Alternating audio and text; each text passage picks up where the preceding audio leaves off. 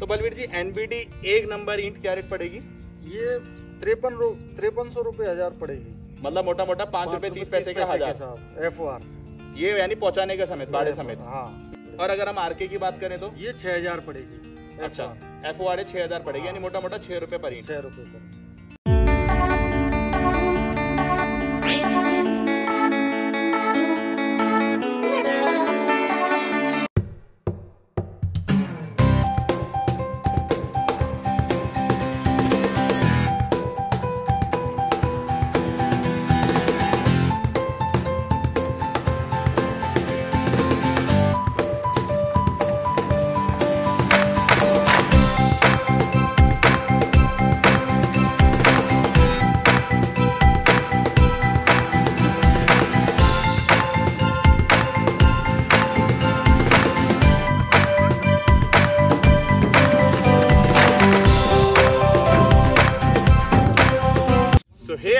कैसे हैं आप? सब होप करता हूँ आप सब बहुत बढ़िया होंगे और बढ़िया ही रहना।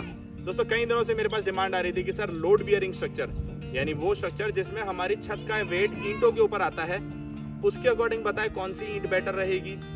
और उसके अलावा फ्रेम स्ट्रक्चर जिसमें कॉलम के ऊपर वेट आता है तो उसमें ईंटों का इतना मेजर रोल नहीं होता। ऐसे भी मैं आपको आज ईंटों का डिफरेंस बताऊँगा। इसके अलावा एक नंबर दो नंबर और तीन नंबर ये तीनों टाइप की ईंटें कैसे होती है? ये सब दिखाने के लिए आज मैं डायरेक्ट आपको ईंट के बट्टे में लेके आया हूँ। आज मैं यहाँ पे आपको लाया हूँ एनबीटी के बट्टे पे। ऐसे यहाँ पे अलग अलग बहुत टाइप के बट्टे हैं, जैसे आर के है एनबीटी है सी के है। बहुत से बट्टे हैं। हर बट्टे पे नंबर एक, नंबर दो, नंबर तीन। तीनों टाइप की ईंटें बनती हैं।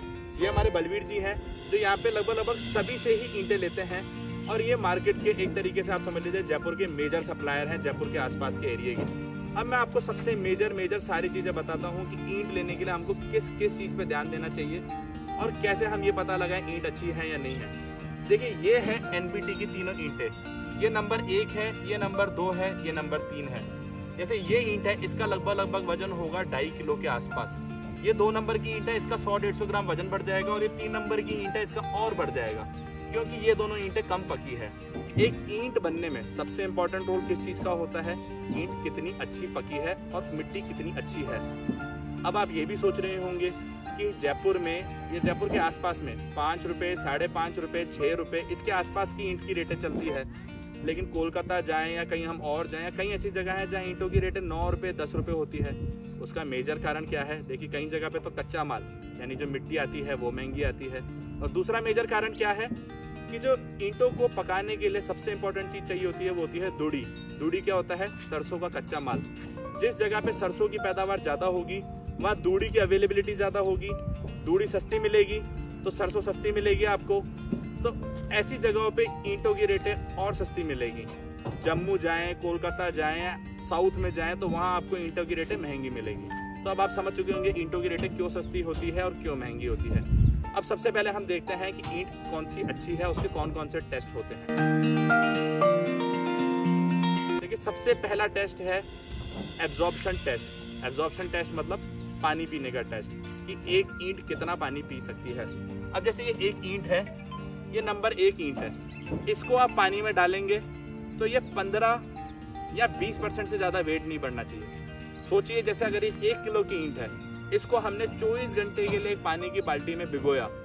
तो उसके बाद इसका वज़न 15 एक किलो 150 ग्राम से लेके एक किलो 200 ग्राम तक जाना चाहिए। अगर इससे ज़्यादा वेट जाएगा तो मतलब वो ईंट अच्छी नहीं है। वो ईंट दो नंबर की है या तीन नंबर की है। के बाद जो बहुत मेजर जो टेस्ट होता है, वो होता है अपीरियंस टेस्ट। अपीरियंस टेस्ट मतलब कि ईंट कैसी दिख रही है? देखिए, एक नंबर की ईंट है, ये लगभग लगभग आपको मरून से कलर की दिखेगी। दो नंबर की ईंट लगभग लगभग आपको लाल से कलर की दिखेगी और तीन नंबर की ईंट लगभग लगभग आपको येलो से कलर की दिखेगी। अब इसके बाद तीसरा टेस्ट होता है शेप एंड साइज़ टेस्ट मतलब हम किसी भी बट्टे से ईंट ले रहे हैं। अगर हमने उनको ऑर्डर दिया है, हमें चार हज़ार ईंटा चाहिए, पाँच हज़ार चाहिए, दस हज़ार चाहिए, चाहे दो हज़ार चाहिए। उन ईंट के बट्टे में लगभग लगभग सारी ईंटों का साइज़ सेम सा होना चाहिए। ऐसा नहीं हो कुछ छोटी हो, कुछ बड़ी हो। कई बार ऐसा देखा गया है। इसके अलावा चौथा टेस्ट जो बहुत मेजर टेस्ट होता है, जिसे बोलते हैं मेटेलिक रिंगिंग टेस्ट यानी साउंड टेस्ट जब आप एक नंबर की दो ईंटों को बजाएँगे तो कुछ ऐसी मेटेलिक रिंगिंग साउंड क्रिएट होगी। और ये आधी टूट गई। तो आप इसे आधी टूट रहे हैं तो देखने इसमें कोई सुराख नहीं है, यानी कोई छेद नहीं है। तो ये ईंट ज़्यादा अच्छी ईंट है।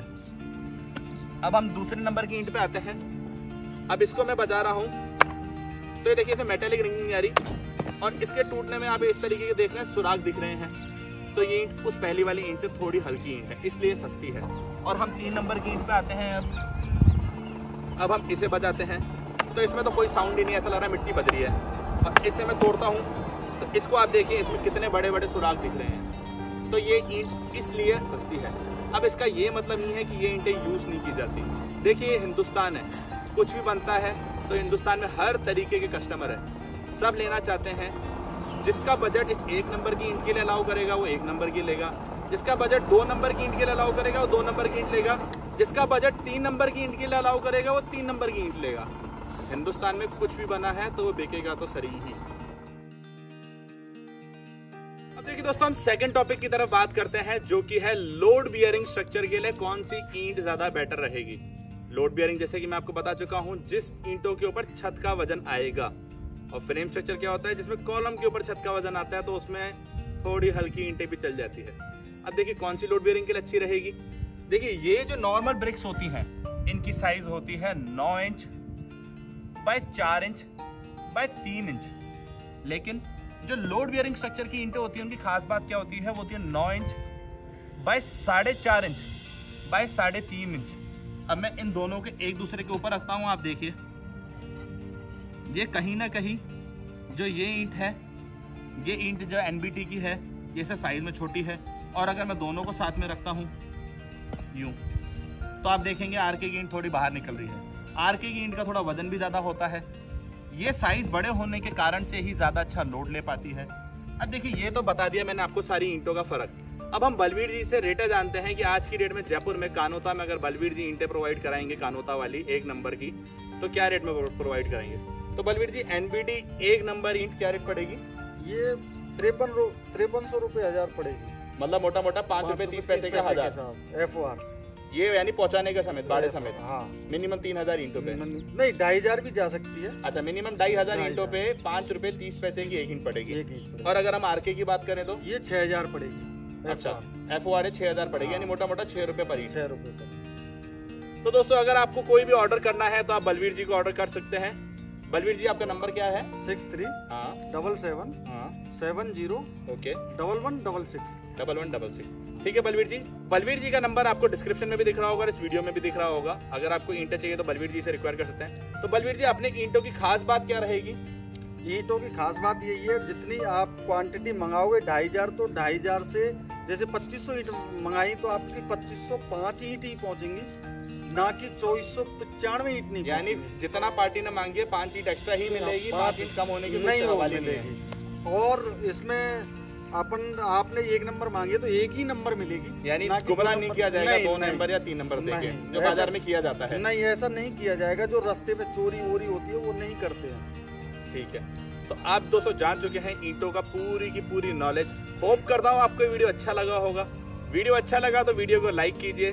चैनल पे नए हैं तो चैनल को सब्सक्राइब कीजिए जिससे फ्यूचर में मैं जो भी कंस्ट्रक्शन से रिलेटेड वीडियो डालूँ वो आपकी नोटिफिकेशन स्क्रीन पे पॉपअप हो जाए। और कमेंट सेक्शन में ये ज़रूर बताएँ आपको इस वीडियो का क्या पार्ट बेस्ट लगा और आप फ्यूचर में मेरे से किन टॉपिक्स पे वीडियो देखना चाहते हैं।